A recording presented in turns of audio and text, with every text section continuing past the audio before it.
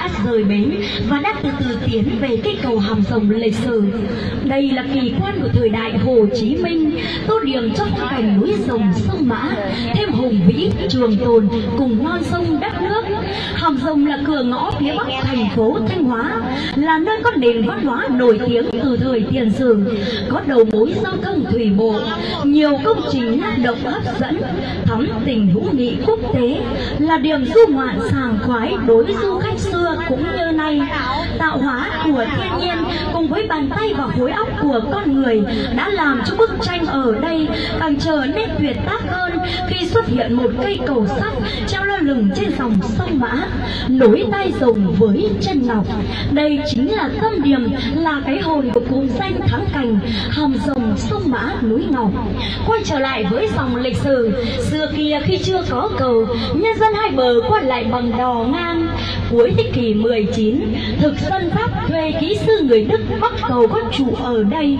Cầu xây chưa xong, lũ lớn kéo về, đã hất đổ cả công trình xuống dòng sông Mã đau đớn, tuyệt vọng. Kỹ sư người đức, ông đã tự gieo mình xuống dòng sông tự vẫn. Đầu thế kỷ 20 một chuyên gia về cầu ở đông dương, khi khảo sát để bắc cầu có chùa ở giữa, đã đưa ra những nhận định. Dưới đáy sông, có quá nhiều hang động và đá mồ côi, lũ lụt hàng năm, không cho phép thời gian thi công trên mặt nước kéo dài. Vì vậy, người pháp phải xây cầu treo, cầu được gối lên sườn hai ngọn châu phong ở bờ bắc và mắt rồng ở bờ nam.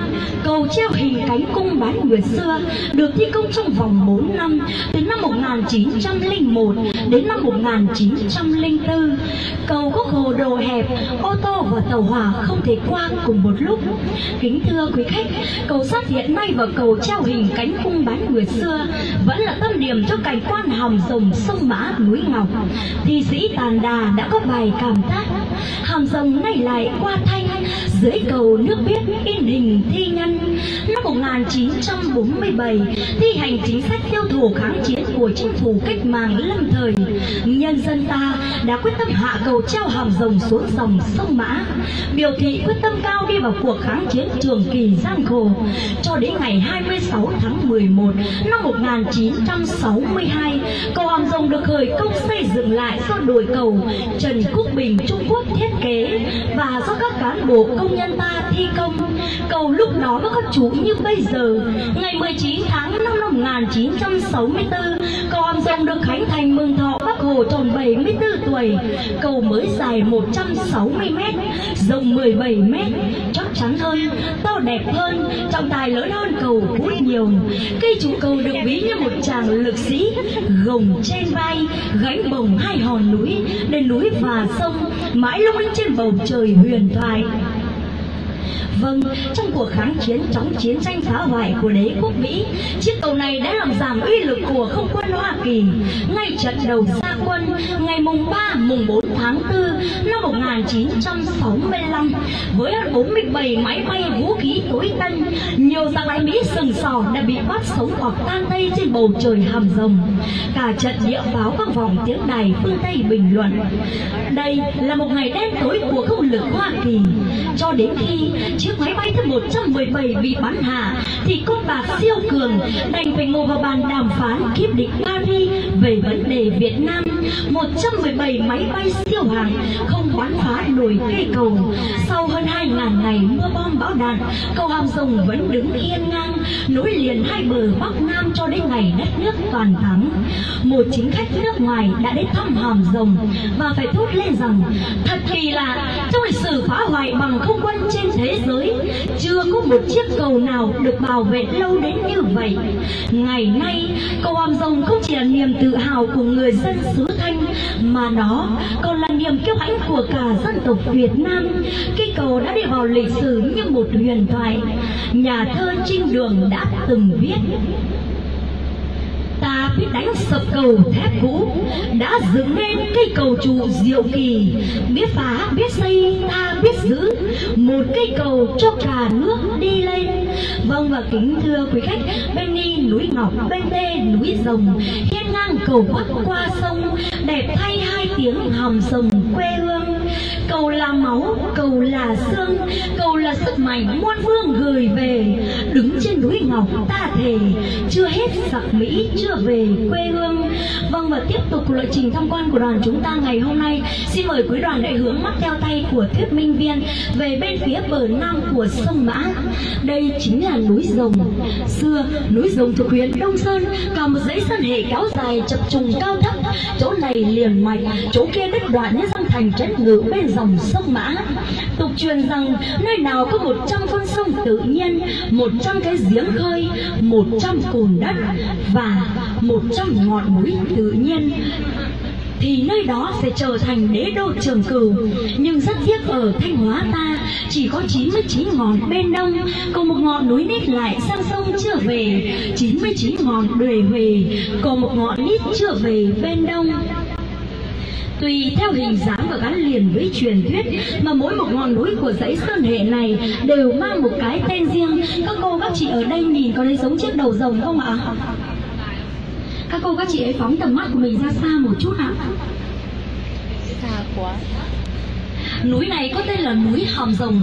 Đứng trên đỉnh núi rồng có độ cao hơn 100 mét. Du khách có thể phóng tầm mắt nhìn ra bốn phương tám hướng. Làng quê, sông nước đâu đâu cũng trầu về nơi rồng thiêng ngự trị. Và hơn nữa cô, các chị và các chú có thể đứng ở bất kỳ góc độ nào cũng có thể nhìn thấy hình dáng một con rồng đang uốn lượn linh hoạt bên dòng sông Mã.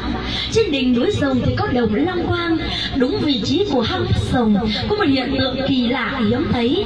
Bên trong đồng còn có nhiều các bài thơ của các bậc phương giả, các bậc cao nhân mà điển hình như vua Lê Thánh Tông một bài, vua Lê Hiến Tông một bài, trách xuống phía dưới 7-8 mét có các phiến đá chồng lên nhau và tách ra làm hai phần trên thì phình to, nhô cao như mũi rồng và chán rồng. Phần dưới như dù xuống dòng sông, trực lớp hòn núi ngọc phía bờ bắc sông mã cửa động mắt rồng thì mở ra hai hướng nam bắc. Con mắt nam là con mắt phải. Nhìn về nơi xưa kia là hạc thành, nay thuộc thành phố thanh hóa. Trung tâm kinh tế văn hóa chính trị của gần 4 triệu dân, con mắt rồng trái đến như ngóng trông, dõi tìm theo bóng con rồng vàng hoa lư. Và xa hơn nữa là con rồng thăng long, xuất hiện bơi lượn trên bầu trời thủ đô vào ngàn năm trước. Kính thưa các cô, các chị, tiếp tục lộ trình của đoàn chúng ta ngày hôm nay. Mé bờ nam của sông mã đây ạ. Quý đoàn của chúng ta đã nhìn thấy một cái xưởng nhỏ chưa ạ? Đây chính là xưởng đóng tàu của 5 triệu Pinasin. Trước đây rất là hùng mạnh Nhưng bây giờ chỉ còn lại là một xưởng nhỏ Chuyên sửa chữa Phục vụ cho các thuyền bè đánh cát, đánh cá qua lại ở bến sông. Nhìn trách lên trên là trận địa đồi C4 Hay còn gọi là cao điểm 54 Nằm sát ngay đầu rồng Tại đây đại đội 4 pháo cao xạ 57mm đã đóng quân.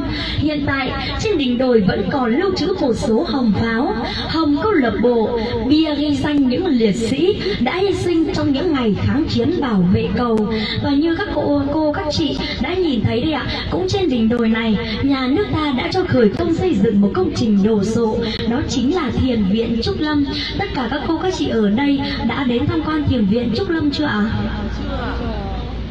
Vâng, thiền viện Trúc Lâm thì thuộc thiền phái Trúc Lâm Yên Tử, tọa lạc trên cao điểm 74 của dãy núi Hồng Rồng, với tổng diện tích hơn 40.000 mét vuông, gồm 12 hạng mục công trình tam quan, nằm yên ắng thanh lịch trên ngọn đồi cao, được bao phủ bởi những rừng thông xanh ngút ngàn, trải dài trên ngọn đồi thoai thoải.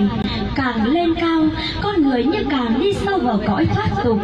Nơi đây không chỉ là nơi đào tạo các tín đồ Phật giáo mà còn là nơi sinh hoạt ngoại khóa của đông đảo các tầng lớp thanh thiếu niên các doanh nhân doanh nghiệp trong và ngoài tỉnh. Hiện tại thì thiền viện trúc lâm này đã có bến vào và đã có các bậc lên rồi. Sau đoàn của chúng ta ngày hôm nay sẽ đi vào à, phủ vàng ở hoàng khánh hoàng hóa và lên điểm cuối cùng là ở à, đền cô bơ ở hà sơn hà trung.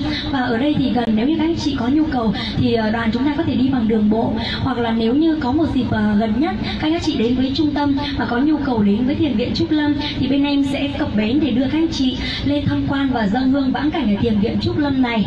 Vâng và tiếp tục lộ trình tham quan của đoàn chúng ta ngày hôm nay. Xin mời quý khách hãy hướng mắt theo tay của thuyết minh viên về bên phía bờ bắc của sông Mã. Tàu chúng ta đang tiến đến đây ạ. Đây chính là chùa Sùng Nghiêm đền Nghề Yên Vực. Chắc rằng ngày hôm nay các cô, các chị các chú mới được nghe đến ngôi chùa này phải không ạ? Ờ, đoàn của chúng ta đi từ biển biển sơn vào đúng không ạ? Vâng đi từ biển sơn vào thì không phải đi qua cầu hàm rồng cũ, mà chỉ đến đến ngã ba đây này, đến ngã tư gần cầu ấy ạ. Thì các anh chị rẽ vào bờ đê của sông mã và đi qua chùa sắc hoa. Tiến đến ngã ba này thì chính là chùa sùng nghiêm, đền Nè yên vực, thuộc phường tàu xuyên, thành phố thanh hóa. Xung quanh đền có sông núi nước non, có mây trời hùng vĩ, có ruộng đồng xanh. Bên trong đền có giếng nước, có cây đa, có đài hoa sen. Trong sử sách chép lại rằng đền thờ tam kỳ ngô giang, người đã có công giúp vua lý thái tổ vượt sông đánh giặc. Sau khi ông mất đi, để tưởng nhớ đến công ơn của ông, vua lý đã cho lập một gian nhà lá. Và hiện tại, trong ngôi chùa này vẫn còn lưu trữ một số bát hương đá bàn thờ đá, kệ đá của thời lê cảnh hưng. Vâng và kính thưa quý đoàn, hiện tại tàu của chúng ta đang đi trên dòng sông mã, bắt nguồn từ dãy núi bô ba vùng tây bắc hùng vĩ, có mực nước đo trung bình hơn hơn 400 mét so với mực nước biển. Vì sao gọi là sông mã? Theo tiếng hán, sông mã có nghĩa là sông mã, mà theo phương ngữ việt cổ đang còn lưu truyền ở một số tỉnh miền trung nước ta. Mạ có nghĩa là mẹ, là sông lớn, sông cái. Bình thường nước sông chảy đã mạnh, mùa mưa lũ càng dữ dội hơn. Qua lắm thác nhiều gành như con ngựa bất kham mũi phì hơi, mõm sùi bọt, rực bờm tung vó. Ngày đêm phi nước đài về biển đông, và cũng từ hướng đó, dãy núi đông sơn hùng vĩ cái nôi của nền văn hóa đồng thau. Núi tiếp núi uốn mình vươn tới, sông và núi đến đây gặp nhau tạo thành thế. Long, mã, tranh châu. Châu ở đây chính là hòn núi nít hay còn gọi là núi ngọc. Ngựa và rồng đuôi ngọc đến đây con rồng vừa há miệng ra đất ngọc.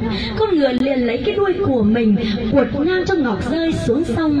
Chính vì vậy, dưới đáy đoạn sông hàm rồng là cả một quả núi đầy hang huyệt nên ca dao xưa có câu, thanh hóa thắng địa là nơi, rừng vườn hạt ngọc, hạt bơi phanh thành. Thời lê, năm 1478 vua lê thánh tông có về thăm viếng quê thanh. Người cho dừng thuyền ngoạn cảnh hàm rồng, người men theo triền núi vào động long quang, rồi lên đỉnh núi đầu rồng ngây ngất ngắm một vùng non nước và cảm hứng. Đây núi kia rừng tiên phật quá như mời du khách tới cùng say. Nguyễn Trãi năm 1430 có tháp tùng vua Lê Lợi về thăm viếng quê Thanh. Lúc chờ ra Thăng Long cứ dừng chân ở hàm rồng. Bài thơ Long Đại Nham mà người đề lại trên động Long Quang chính là bằng chứng am hiểu về cảnh và người Thanh Hóa. Vâng và kính thưa các cô các chị à, tiếp tục của đội trình tham quan của đoàn chúng ta ngày hôm nay bên bờ bắc của sông Mã tàu, chúng ta đang tiến đến đây ạ đây chính là ngã ba tào hay xưa kia người ta còn gọi là dòng ngô giang, ngã ba tuần ngu. Nếu như trong sử sách các cô, các chị đọc được ngã ba tuần ngu ở đâu, thì đó chính là địa danh này. Xưa, nó là dòng chính đổ ra biển bằng cửa lạch trường ở hoàng hóa. Do thời nhà nguyễn, có một bè gỗ lim bị đóng ở ngã ba sông này. Phù sa bồi đắp, dòng ngô giang bấy giờ mới dần hẹp lại. Sông mã đổ ra biển bằng cửa lạch hới sầm sơn như ngày hôm nay. Vâng và kính thưa quý đoàn, nói sao cho hết cái vẻ đẹp của khu du lịch văn hóa xứ thanh, mong rằng tất cả quý khách ở đây sẽ được đến chiêm ngưỡng trực tiếp từng nét đẹp riêng trong quần thể, danh thắng cảnh, hầm rồng, sông mã núi ngọc. Và trước khi thanh mai dừng lời cho điểm dẫn ngày hôm nay, em xin kính tặng quý đoàn một bài thơ, hầm rồng ai đã một lần qua. Cảnh sắc nơi đây nhớ đến già. Cứu nước diệt thù, bao chiến tích. Xây cầu đón bàn bầy hùng ca. Địa linh sông mã luôn trân trọng. Nhân kiệt núi long mãi thiết ta du khách tham quan lòng thỏa mãn.